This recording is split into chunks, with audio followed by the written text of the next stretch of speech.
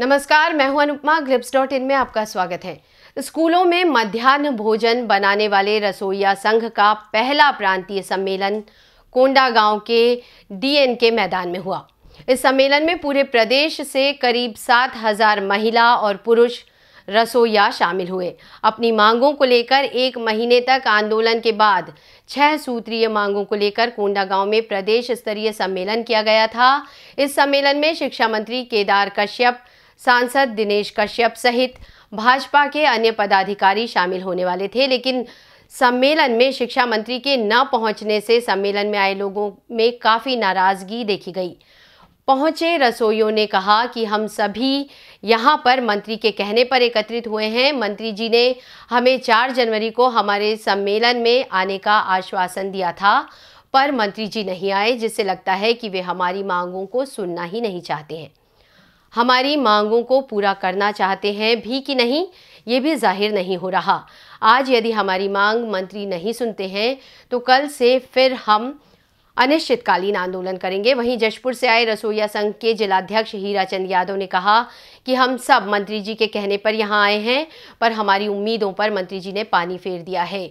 गरीबों की नहीं सुनने वाली सरकार को संघ धिक्कारता है। हम लोगों के साथ अन्याय हुआ है और हम सत्ता को पलटना चाहते हैं। भाजपा सरकार से खास नाराज़ दिख रहे लोगों ने सरकार को सबक सिखाने तक की धमकी दे डाली। हमारी मांगे पूरी करो।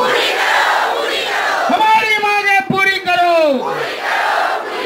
अभी तो ये अंगड़ाई है। अभी तो ये अंगड़ाई है। এগাতুকে নিছাড়ে মোদি ফাঁদানে ফসলিস তুই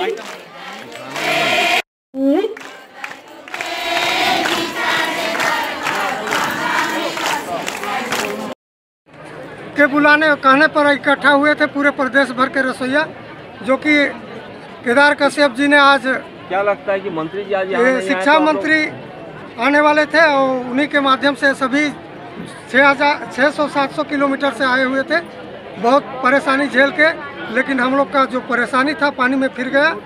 ऐसे शासन को हम धिक्कार करते हैं अपने तरफ़ से पूरे संघ के माध्यम से हम धिक्कार करते हैं। जो एक गरीब का हित नहीं चाहते हैं तो शासन में बैठने का उनको अधिकार नहीं है। क्या लगता है कि मंत्री ने आप लोगों को धोखा दिया? बिल्कुल धोखा दिया है सर। हम लोगों के साथ ही बिल्कुल अन्याय कर रहे हैं। हम लोगों ने कई बार इसको कई बार अपने मांग को लेकर हमें रायपुर आए, दिल्ली गए, लेकिन हमारा मांग पर कोई विचार नहीं किया गया।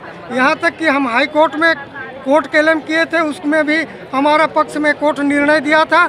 उसमें प्रति दिवस दो सौ पचपन रुपया के हिसाब से देने के लिए कोर्ट निर्णय दिया था, लेकिन उसको हमारे श्रीमान एन आर साहू सहायक सचिव जी ने उसको खारिज करते हुए रसोईया का कार्य केवल डेढ़ घंटा है, इसलिए बारह सौ रुपया काफ़ी है करके उन्होंने इस मांग को गलत ठहराते हुए खारिज कर दिए हैं।